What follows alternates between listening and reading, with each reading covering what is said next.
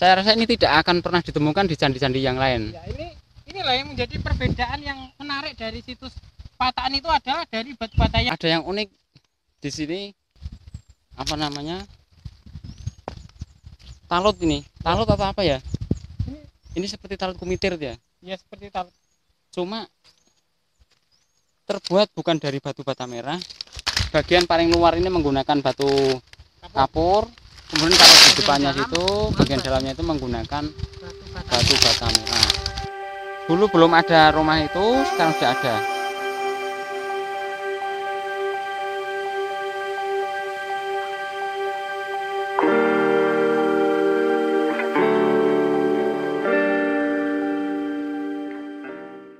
kita akan menelusuri jejak sejarah kerajaan Erlangga kemudian di depan sana itu eh, ada penemuan yang sangat heboh yang sangat menarik. Di sana ada sebuah candi. Itu candi Patakan namanya. Kita akan coba mendekat kemudian melihat seperti apa.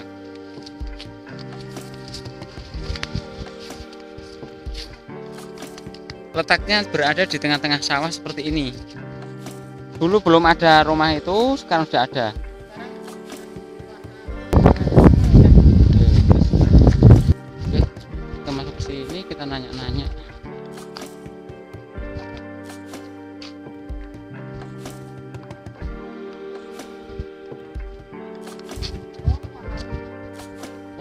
warung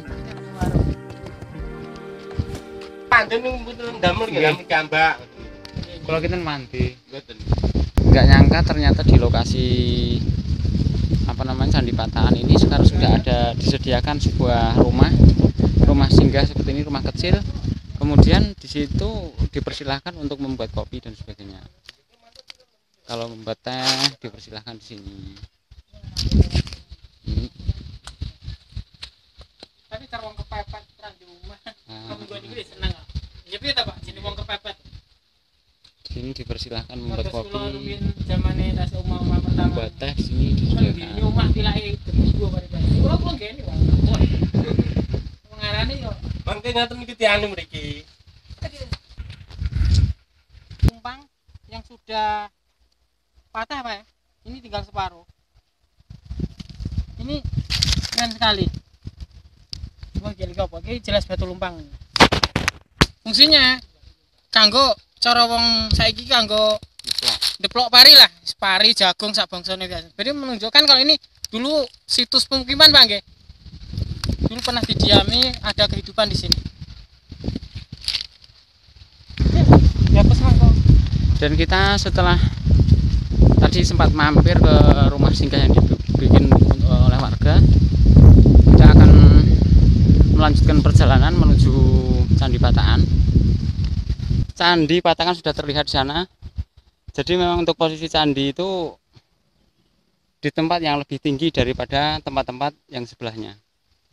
Karena kita tadi jalan dari sebelah sana itu tempat yang agak rendah kemudian di sana itu tempatnya agak meninggi. Di sanalah candi Patakan dibangun. Kita mendekat coba. Tapi kalau untuk persembunyian pada waktu kala itu kan memungkinkan mas. Karena apa? Aksesnya pada itu jauh dari jalan. Kemudian juga hutannya tentunya tidak seperti sekarang. Jadi tentunya lebat sekali.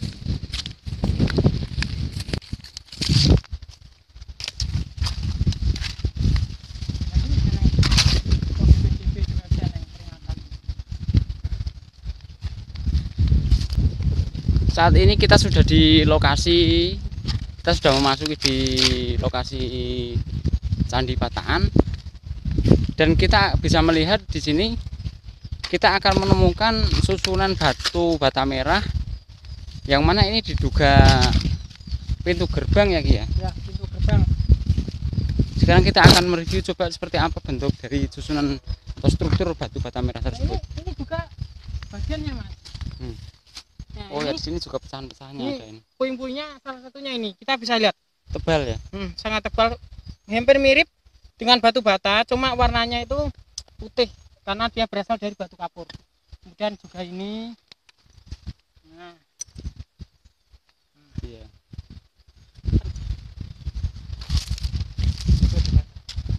Ayo kita masuk. Oke. ini sudah ada petunjuk sini jalan ke candi.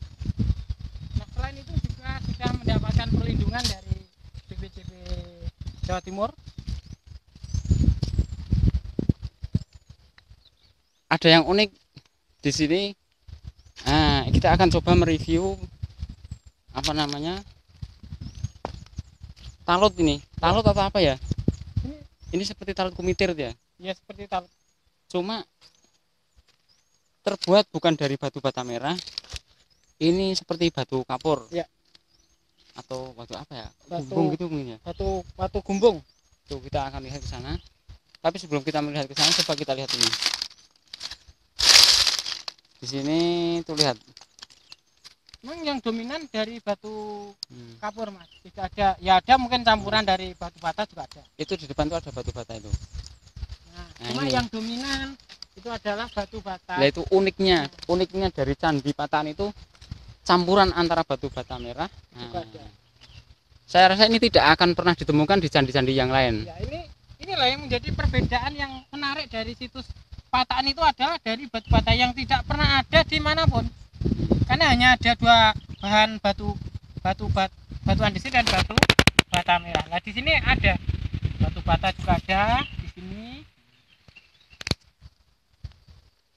nah, ini kondisinya itu masih seperti ini Kita akan melihat ini adalah benteng sisi timur, eh, sisi barat. oke oke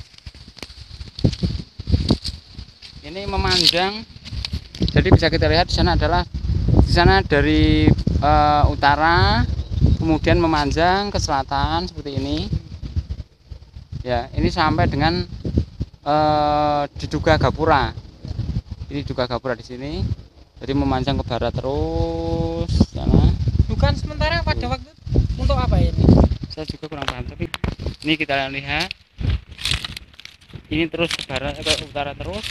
Dan yang seperti yang saya katakan dari tadi eh, sebelumnya bahwa anehnya itu di bagian paling luar ini menggunakan batu kapur. kemudian kalau di depannya situ bagian dalamnya itu menggunakan batu bata batu bata merah. Ini Iya, kita lihat. batu bata merah ini. ini sebenarnya kalau ada per- atau ada perlindungan ini masih kelihatan mas. Sekarang Ini- kenaan cuaca. ini sayangnya tidak ditutup ya Ki. ya sehingga ini terkena hujan dan sebagainya ini hancur ini. Zona sayang sekali ini. Tidak Ini ada perlindungan. Nah, seperti ini. Ini bagian bibir-bibirnya. Anu itu terbuat dari batu dan seharusnya ini di apa? Dikasih atap ya? Ya penyelamatan sebenarnya Ya. harus demikian. Ini sangat sayang sekali. Ini saya- kalau menurut saya ini terlalaikan apa? Ya karena terkena cuaca. Ini sebenarnya kuat mas. Batu ini kuat sekali. Berhubung terkena eh, cuaca mungkin ada sini ada cukup untuk melindungi tapi enggak ada. Saya melihat Ini batu bata di Candi Patan ini banyak yang hancur seperti ini. Mungkin bahannya juga kurang bagus mungkin ya. Bisa jadi mas. Karena di sini kan tidak seperti di daerah wilayah selatan Hmm. kediri blitar kan tidak Oke. kita lihat dari sebelah sini ini bisa kita mungkin bisa menarik kita lihat ya. dulu di sini juga pernah ditemukan sarung keris tapi sudah rusak mas ini. Hmm. waktu itu yang menemukan Kang Hadi Wijaya. Ya di sini belum pernah. Iya betul. Dari kuningan cuma ya sudah usang jadi nggak nggak bisa dikenali sarung. Oke, itu review saya di benteng sisi barat dari Candi Patakan dan kemudian struktur batu bata merah dan batu kapur yang diduga ini mungkin eh, gapura dari Candi